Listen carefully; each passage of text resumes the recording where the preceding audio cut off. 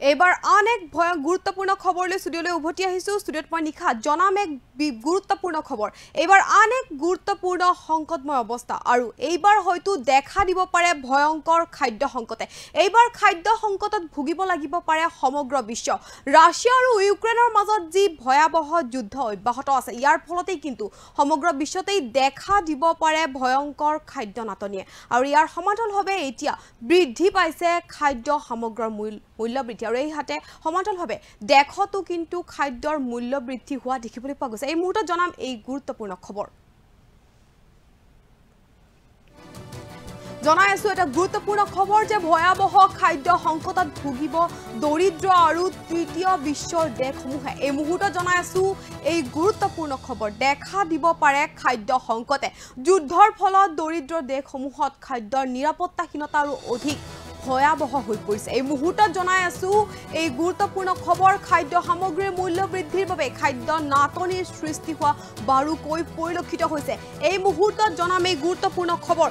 যে আন এক আন এক সংকট নামি আহিছে বিশ্বলৈ। এইবাৰ খাদ্যৰ সংকটে দেখা দিব পাৰে বিশ্বত। ভয়াৱহ খাদ্য সংকটত ভুগিব লাগিব দৰিদ্ৰ আৰু তৃতীয় বিশ্বৰ দেশসমূহে।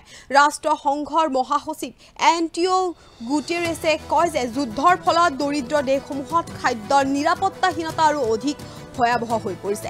খাদ্য সামগ্ৰীৰ মূল্য বৃদ্ধিৰ বাবে খাদ্য নাটনি আৰু পৰিস্থিতিৰ সৃষ্টি হোৱা বুলি তেওঁ উল্লেখ কৰিছে। আনহাতে জলবায়ু সংকটৰ বাবে সমগ্ৰ বিশ্বতেই খাদ্য উৎপাদনৰ অৱস্থা এতিয়া অত্যন্ত দুখ লগা। ৰাছিয়া আৰু ইউক্ৰেইনৰ মাজত বৰ্তমান সময়ত অব্যাহত আছে যুদ্ধ আৰু এই যুদ্ধৰ বাবে এতিয়া সমগ্ৰ বিশ্বতে খাদ্য সংকট যিটো দিনক দিনেই তীব্ৰতৰ হোৱা পৰিলক্ষিত হৈছে।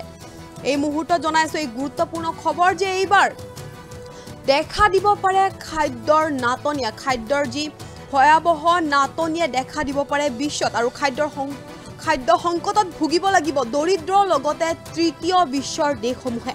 জলবায়ু সংকটৰ বাবে সমগ্ৰ বিশ্বতে খাদ্য উৎপাদনৰ অৱস্থা অত্যন্ত দুখ লগা হৈছে আৰু তেনে সময়তে ৰাছিয়া আৰু ইউক্ৰেইনৰ মাজত যি ভয়াৱহ যুদ্ধ অব্যাহত আছে এই যুদ্ধৰ ফলত এতিয়া বিশ্বত কিন্তু খাদ্য সংকট যিকোনো দিনতেই তীব্ৰতৰ হ'ব পাৰে বুলি আশংকা প্ৰকাশ কৰিছে সংশ্লিষ্ট মহলে।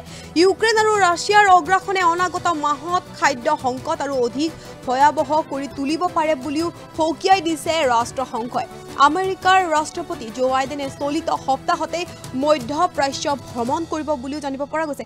ইতিমধ্যে জো বাইডেনে যোজা চলাইছে যে চলিত সপ্তাহতে তেওঁ মধ্যপ্ৰাচ্য ভ্ৰমণ কৰিব আৰু ভ্ৰমণৰ সময়ত তেওঁ ইজৰাইল সংযুক্ত আৰৱ আমিৰ শ্বাহী আৰু ভাৰতৰ সৈতে ভাৰ্চুৱেল বৈঠকত অংশগ্ৰহণ কৰিব বুলিও জানিব পৰা গৈছে। আমেৰিকাৰ ৰাষ্ট্ৰীয় নিৰাপত্তা উপদেষ্টা জেক চুলিভানে এই বৈঠকত চাৰিখন দেশৰ শীৰ্ষ নেতা কেইবাটাও বিষয়ত আলোচনা কৰিব বুলি অৱগত কৰে। আলোচনাত খাদ্য সুৰক্ষা বিষয়টোৱে বিশেষ গুৰুত্ব লাভ কৰিব বুলিও প্ৰকাশ পাইছে। এই মুহূৰ্তত জনাইছোঁ গুৰুত্বপূৰ্ণ খবৰ যে এইবাৰ আন এক ভয়ংকৰ সংকট নামি আহিছে বিশ্বলৈ।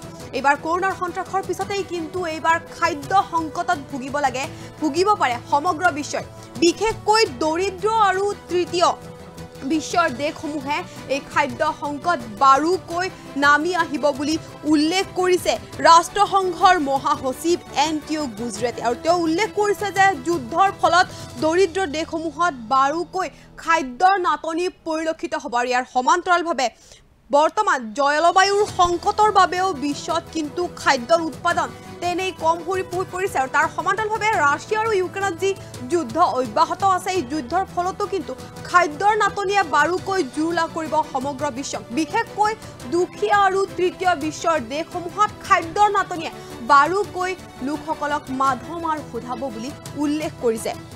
আৰু ইয়াৰ সমান্তৰালভাৱে আমেৰিকাৰ ৰাষ্ট্ৰপতি জো বাইডেনেও চলিত সপ্তাহতেই মধ্যপ্ৰাচ্য ভ্ৰমণ কৰিব বুলি উল্লেখ কৰিছে। আৰু ভ্ৰমণৰ সময়ত তেওঁ ইজৰাইল সংযুক্ত আৰৱ আমিৰ শ্বাহী আৰু ভাৰতৰ সৈতে ভাৰ্চুৱেল বৈঠকতো অংশগ্ৰহণ কৰিব বুলি জানিব পৰা গৈছে। আনহাতে আমেৰিকাৰ ৰাষ্ট্ৰীয় নিৰাপত্তা উপদেষ্টা জেক চুলিভানে এই বৈঠকত চাৰিখন দেশৰ শীৰ্ষ নেতাই কেইবাটাও বিষয়ত গুৰুত্বপূৰ্ণ আলোচনা কৰিব বুলি জানিব পৰা গৈছে। আলোচনাত খাদ্য সুৰক্ষা বিষয়টোৱেও বিশেষ গুৰুত্ব লাভ কৰিব বুলি ইতিমধ্যে জানিব পৰা গৈছে।